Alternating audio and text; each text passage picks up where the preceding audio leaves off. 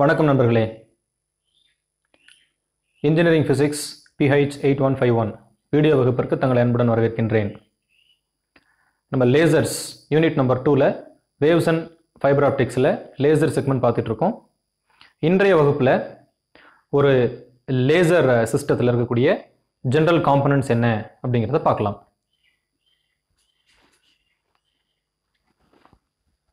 So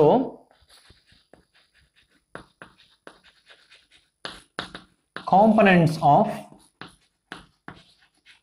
laser.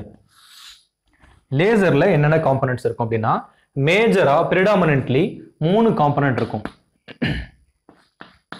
So laser action நடக்கணும்னா population inversion வேணும். Population inversion நடக்கக்கூடிய மீடியத்துக்கு பேர் active medium so active medium தேவை. ரெண்டாவது பாப்புலேஷன் இன்வெர்ஷன் அச்சீவ் பண்ணுறதுக்கு தேவையான பம்பிங் சோர்ஸ் தேவை. மூணாவது ஆம்ப்ளிஃபைடு அவுட்புட் ப்ரொடியூஸ் பண்ணுறதுக்கான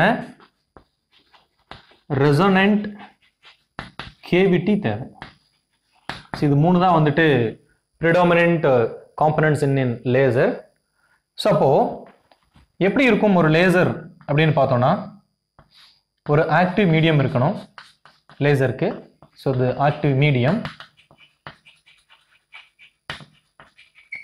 இந்த ஆக்டிவ் மீடியம் இதுக்கு பக்கத்தில்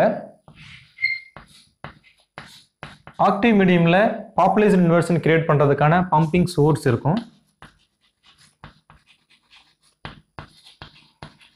ஸோ இந்த பம்பிங் சோர்ஸ் ஆக்டிவ் மீடியத்தில் பாப்புலேஷன் இன்வர்ஷன் கிரியேட் பண்ணும். இந்த பாப்புலேஷன் இன்வர்ஷன்னால நமக்கு ஸ்டிமுலேட்டட் எமிஷன் வரும். அதனால ஃபோட்டான் எமிஷன் வரும். லேசர் ஆக்ஷன் நடக்கும். அந்த வெளிவரக்கூடிய ஃபோட்டான்ஸை ஆம்பிளிஃபை பண்ணுறதுக்காக இந்த ஆக்டிவ் மீடியத்தை ஒரு பேர் ஆஃப் மிரர் uh, செட்டப்பில் வச்சுருப்பாங்க.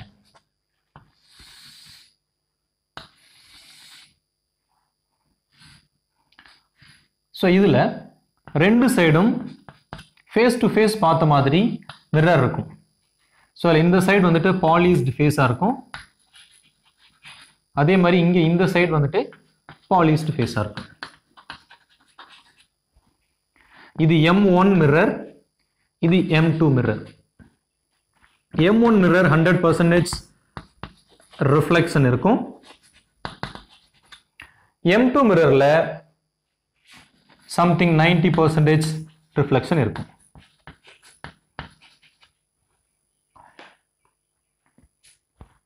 இந்த ரெண்டு மிரருக்கும் இடையில் இருக்கக்கூடிய இந்த ஸ்பேஸ்க்கு பேர் வந்துட்டு ரெசனன்ட் கேவிட்டின்னு பேர்.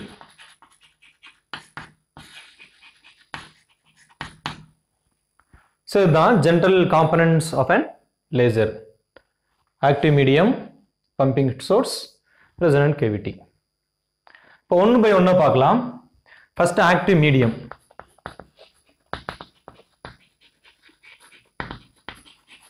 so active medium அப்படிங்கிறது அதுதான் ஒரு மெட்டீரியல் அதில் தான் வந்துட்டு என்ன நடக்க போகுதுன்னா பாப்புலேஷன் இன்வெர்ஷன் நடக்க போகுது.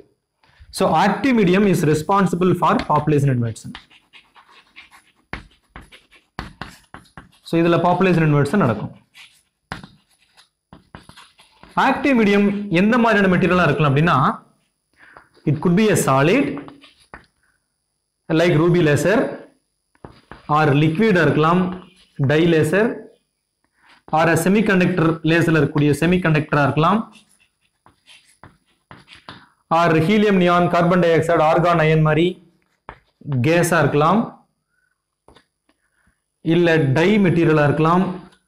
ஸோ இந்த மாதிரி solid liquid gas dye free electrons ions so எது வேணுமாலும் இருக்கலாம். ஆக்டிவ் மீடியமாக ஆக்டிவ் மீடியத்தில் தான் வந்துட்டு பாப்புலேஷன் இன்வெர்ஷன் நடக்கும். So active medium is the vital part of the laser system ரெண்டாவது பம்பிங் சோர்ஸ்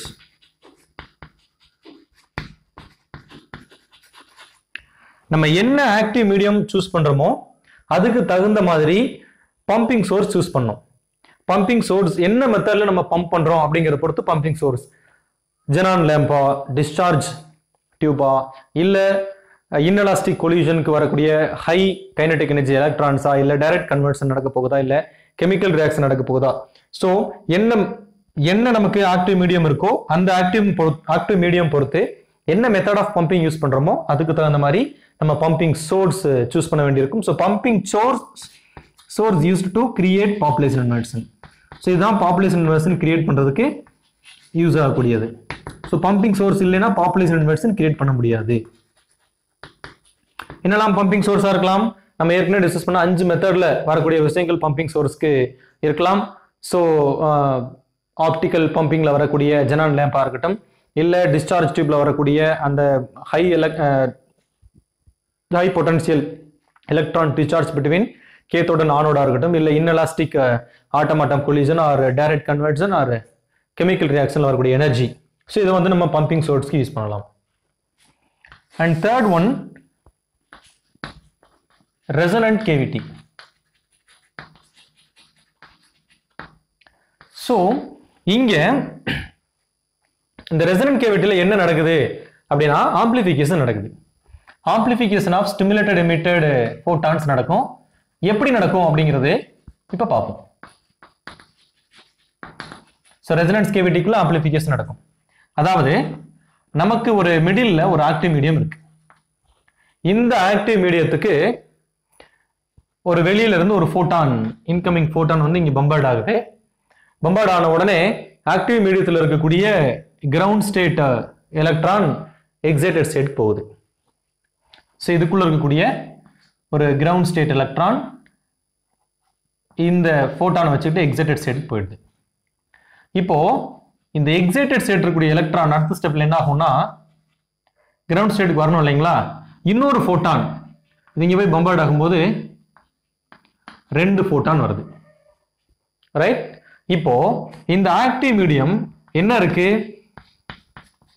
இப்படி ஒரு பேர் ஆஃப் மிரருக்கு உள்ளார நம்ம வச்சிருக்கிறோம் ஆக்டிவ் மீடியத்தை ரிஃப்ளெக்டிவ் மிரருக்கு உள்ளார வச்சிருக்கிறோம். ஸோ அதனால் இங்கே வரக்கூடிய இந்த ரெண்டு ஃபோட்டான் இருக்கு இல்லைங்களா? அது இப்படி இந்த பக்கம் ட்ராவல் பண்ணும் ரெண்டு ஃபோட்டான் ட்ராவல் பண்ணி இந்த சைடு இருக்கக்கூடிய மிரரில் பட்டு ரிஃப்ளெக்ட் ஆகி திரும்பியும் கம்பேக் டு ஆக்டிவ் மீடியம் இங்கிருந்து போன இன்னொரு ஃபோட்டானும் இங்கே வந்துட்டு இதே ஆக்டிவ் மீடியத்தில் கொலைட் இப்போ என்னாகும்? ஸோ ரெண்டு ஒரு ஒரு ஃபோட்டான் ஃபர்ஸ்ட் வந்து ஒரு ஒரு ஃபோட்டான் வந்து கிரவுண்ட் ஸ்டேட் இருக்கிறது எக்ஸைட்டட் கொண்டு போச்சு. இன்னொரு ஃபோட்டான் எக்ஸைட்டட் ஸ்டேட் வந்து கிரவுண்ட் கிரவுண்ட் ஸ்டேட்டுக்கு கொண்டு வரும்போது ரெண்டு ஃபோட்டான் எமிட் ஆச்சு லேசர் ஃபோட்டான்ஸ் ரைட் இது ரெண்டும் வெளியிலிருந்து வந்தது. பட் இங்கிருந்து வந்தக்கூடிய ரெண்டும் ஸ்டிமுலேட்டட் எமிஷன்ல வந்தது. இப்போ இந்த ஸ்டிமுலேட்டட் எமிஷன்ல வந்த ஃபோட்டான் ரெண்டும் திரும்பியும் பின்னாடி வந்து ஆக்டிவ் மீடியத்தில் ஹிட் ஆச்சுன்னா இதே மாதிரி ஒரு ப்ராசஸ் நடக்கும். திரும்பியும் ரெண்டு ஃபோட்டான் வரும். அந்த ரெண்டு ஃபோட்டான் இங்கிட்டு போயிட்டு திரும்பி இங்கிட்டு வந்து இந்த மிரர் ரிஃப்ளெக்ட் ஆகி இங்கே ஹிட் ஆகும். அப்படி ஹிட் ஆகும்போது அடுத்த ஸ்டேஜ் அடுத்த ஸ்டெப்பில் நாலு ஃபோட்டான்ஸ் வெளியில் வரும். அந்த நாலு ஃபோட்டான்ஸ் திரும்பி ரிவர்ட் ஆகி வந்துச்சு அப்படின்னா இங்கிட்டு வரும்போது ஃபோர் ஸ்கொயர் ஃபோட்டான்ஸ் வரும். ஸோ அந்த மாதிரி என்ன ஆகும்னா இந்த ரெண்டு ரிஃப்ளெக்ஷனால எமிட் ஆகக்கூடிய ஃபோட்டான்ஸ் வந்துட்டு மல்டிப்ளிகேட் ஆகிட்டே போயிட்டு இருக்கும். பட் வெளியே வரக்கூடிய எல்லா ஃபோட்டான்ஸுமே ஒரு ஒரு ஸ்டெப்லையும் வெளியே வரக்கூடிய எல்லா ஃபோட்டான்ஸும் இந்த மாதிரி சேம் ஃபேஸில் இருக்க போகும். ஸோ எல்லாமே ஒரே சேம் ஃபேஸ் சேம் ஃபேஸில் இருக்கிறதுனால ரைட் ஸ்டிமுலேட்டட் எமிஷனில் இருக்கக்கூடிய photons same frequency same phase same direction increase ஆகிட்டே போகும். சப்போஸ் ரெண்டு சைடு நீங்கள் ஹண்ட்ரட் பர்சன்ட் வச்சுருந்தீங்க அப்படின்னா இந்த பாப்புலேஷன் ஃபோட்டான்ஸ் உள்ளேயே வந்துட்டு சைக்கிளிக்காக வந்துக்கிட்டே இருக்கும். சப்போஸ் நம்ம இங்கே இதை வந்துட்டு ஒரு நைன்டி பர்சன்டேஜ் ரிஃப்ளெக்ஷன் வச்சு ஒரு இடத்துல நேரோவை ஓப்பன் பண்ணிட்டோம்னா அந்த இடத்துல ஹை இன்டென்சிவ் லேசர் அவுட்புட் கிடைக்கும். ஸோ இந்த மாதிரி ரெண்டு பேர் ஆஃப் மிரர்ஸ் கடையில் எமிட் ஆகக்கூடிய ஃபோட்டான்ஸை நம்ம மல்டிப்ளிகேட் பண்ணி நிறைய குவாண்டிட்டி உருவாக்கக்கூடியதுக்கு தான் வந்துட்டு ஆம்பிளிஃபிகேஷன் பேர். இந்த ப்ராசஸ் நடக்கக்கூடிய அந்த கேவிட்டிக்கு பேரு ரெசனன்ஸ் கேவிட்டி ரெசனன்ட் கேவிட்டின்னு பேரு. இதுல இந்த மிரர்ஸ் பாத்தீங்கன்னா இந்த மாதிரி வந்துட்டு பிளேன் பேரலா இருக்கலாம். ஸோ இந்த ரெண்டு பாலிஸ்டு ஃபேஸும் ஒன்னை ஒன்று பார்த்த மாதிரி இந்த மாதிரி வந்துட்டு பிளேன் பேரலா இருக்கலாம். அப்படி இல்லை அப்படின்னா இங்க வந்துட்டு கான்கேவ் மிரர்ஸா இருக்கலாம். இந்த மாதிரி. ஸோ இப்படி கான்கேவ் மிரர்ஸ் இருந்துச்சுன்னா இங்கே ஆக்டிவ் மீடியம் இருந்தா ஸோ இங்கிருந்து இங்கிருந்து வரக்கூடிய ஃபோட்டான் இந்த ஆக்டிவ் மீடியத்தில் பட்டு எமிட்டா எங்கே இங்கே போகும். டிராவல் ஆகி திரும்பி இங்கே வந்து படும். எமிட் திரும்பி இப்படி டிராவல் ஆகி இங்கே வந்து படும். ஸோ இந்த மாதிரி it will travel and focused about the active medium so இது வந்துட்டு ரெண்டு pair of Khan concave lenses ரெண்டு பேர் ஆஃப் கான்கேவ் லென்சஸ் வந்துட்டு ஒன்று ஒன்று பார்த்த மாதிரி இருக்கும். Pair of concave lenses which are facing with each other அந்த மாதிரி இருக்கலாம். ஸோ இந்த மாதிரியும் மிரர் செட்டப் இருக்கலாம். அல்லது இந்த மாதிரி மிரர் செட்டப் இருக்கலாம்.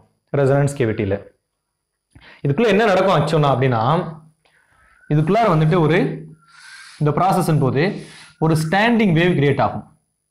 ஸ்டாண்டிங் வேவ் அப்படின்னா இப்படி கிரியேட் ஆகும்.